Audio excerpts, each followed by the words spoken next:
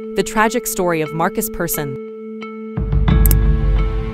Markus sold the popular game Minecraft to computer giant Microsoft for $2.55 billion on September 5, 2014. It wasn't exactly an awful day at work. The expectation of life after owning a $70 million Los Angeles mansion and building relationships with some of the world's most prominent and famous individuals might have been happiness, fulfillment, and freedom. But the reality for Minecraft's founder was quite the reverse. Markus' life had become lonely, unfulfilled, and disorganized in less than a year after selling Minecraft. Despite having it all from an outsider's perspective, Markus appears to have very little from an insider's perspective.